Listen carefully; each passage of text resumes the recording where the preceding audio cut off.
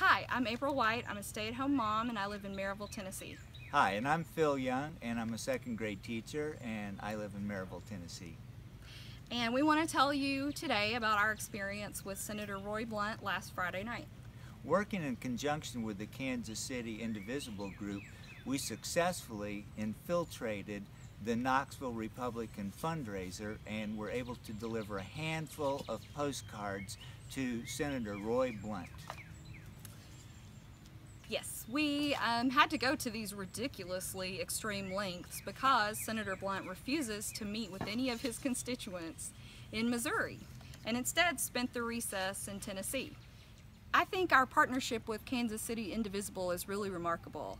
It shows that strangers separated by a thousand miles but united in a common cause can work together to send a message to our representatives everywhere. If you won't meet with us in a public, open forum, we will find you in your private events.